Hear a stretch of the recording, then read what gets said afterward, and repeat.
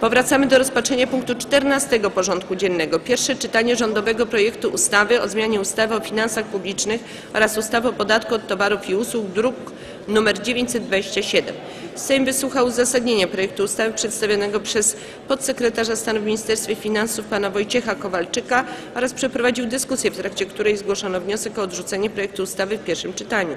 Poddam ten wniosek pod głosowanie.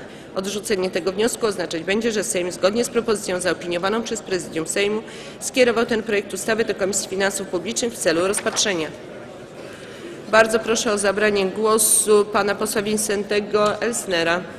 Przypominam, limit czasowy jedna minuta i to jest czas na zadanie pytania.